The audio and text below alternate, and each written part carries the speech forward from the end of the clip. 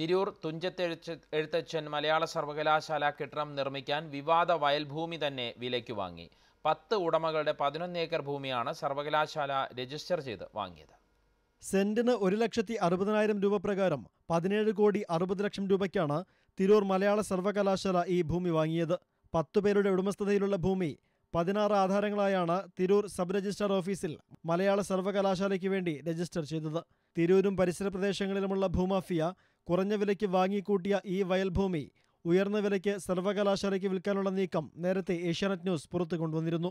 ഇതേ തുടർന്ന് ഭൂമി കച്ചവടത്തിൽ നിന്ന് സർവകലാശാല പിന്നോക്കം പോയിരുന്നെങ്കിലും രാഷ്ട്രീയ സ്വാധീനമുള്ള ഭൂമാഫിയ സർക്കാരിൽ സമ്മർദ്ദം ചെലുത്തി വീണ്ടും ഇതേ ഭൂമി തന്നെ സർവകലാശാലയെ കൊണ്ട് വാങ്ങിപ്പിക്കുകയായിരുന്നു. നേരത്തെ തീരുമാനിച്ച സെന്റിന് ഒരു ലക്ഷത്തി എഴുപതിനായിരത്തിൽ നിന്ന് പതിനായിരം രൂപ കുറച്ചും ആറ് ഏക്കറോളം വരുന്ന കണ്ടൽക്കാടുകൾ ഒഴിവാക്കിയുമാണ് ഇപ്പോൾ ഭൂമി വാങ്ങിയിട്ടുള്ളത്.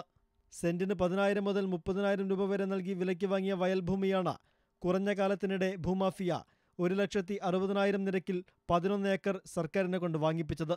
സർക്കാരുമായുള്ള ഈ ഭൂമി കച്ചവടത്തിൽ പത്ത് റിയൽ എസ്റ്റേറ്റുകാർക്കുമായി ഏതാണ്ട് പത്ത് കോടി രൂപയുടെ അധിക ലാഭമാണ് കിട്ടുന്നത്. സർവകലാശാലയ്ക്ക് ഇനി ഇവിടെ കെട്ടിടം നിർമ്മിക്കണമെങ്കിൽ ഈ വയൽഭൂമി മണ്ണിട്ട് നികത്തണം. സർക്കാരിനുണ്ടായ സാമ്പത്തിക നഷ്ടത്തിന് പുറമെയാണ് അതുണ്ടാക്കുന്ന പാരിസ്ഥിതിക പ്രശ്നങ്ങൾ. Asianet news Tirur.